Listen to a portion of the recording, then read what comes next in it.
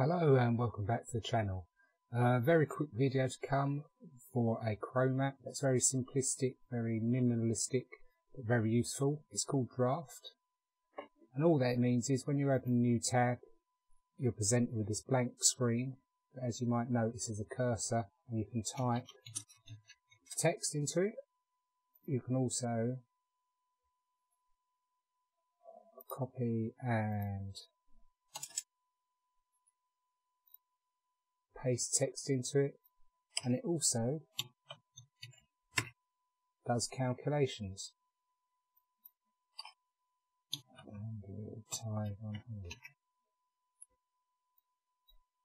So very useful app. Um, you can use it for note taking, save yourself having to scribble stuff down on a piece of paper or um, opening a note taking program. You know, most of us always have our web browsers open when we're on the computer. So simple click, open new tab in, type whatever you like. So like I said, very on the face of it, basic and simplistic, minimalistic, but quite useful and something since I've uh, found I've been using quite a bit. So like I said, a very quick video for this first review of a Chrome app, but a very good app to get. I'll put the link in the description. As always, if you've enjoyed the video, please like, comment, share and subscribe, subscribe and until next time, bye for now.